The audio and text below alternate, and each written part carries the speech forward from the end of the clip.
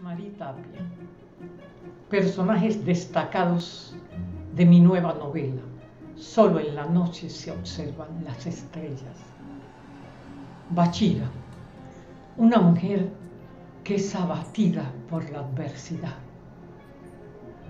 Golpe tras golpe se levanta, casi sin fuerzas, y vuelve a ser derribada.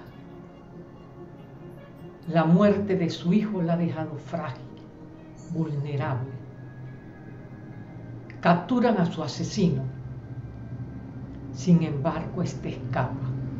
Ella está a punto de casarse y suspende la boda. Tiene la fortaleza de actuar correctamente. La felicidad no se puede construir bajo los cimientos de la desgracia, de la tristeza, de la frustración. Es una mujer de contrastes, débil e imbatible, de carácter fuerte y tierno. Exige justicia, pero tiene la capacidad de la compasión. Y jamás renuncia a sus principios. Es una mujer que los dejará sorprendidos de los contrastes y los matices. Es un personaje inolvidable. El otro personaje es Juan. Juan es el jefe de Bachira, el director del periódico, la amado desde siempre. Pero para él la prioridad es la felicidad de Bachira. Primero estaba casada con un, un hombre, un delincuente, pero estaba casada y él respetaba. Era incapaz de manifestar sus sentimientos y que ella se ofendiera. Cuando este hombre muere,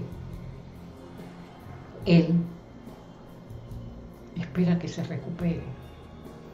Acababa de morir su hijo también. Y ella se enamora de José Daniel, o cree estar enamorada. Una vez más, él escoge guardar silencio.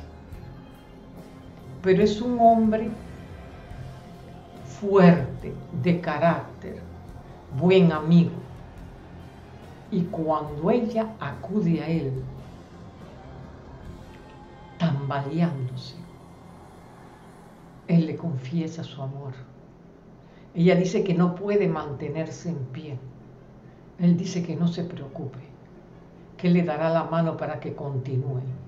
Y si ella no puede dar un paso, no puede avanzar, Él la llevará en brazos. Es ese amor incondicional que solo busca la felicidad del ser amado. Tendrá recompensa ese gran amor de Juan. Bachira recuerda las palabras de su madre, que en el pantano de la adversidad podemos encontrar las semillas de la felicidad. ¿Será Juan esa semilla? No se pierda la lectura de solo en la noche se observan las estrellas.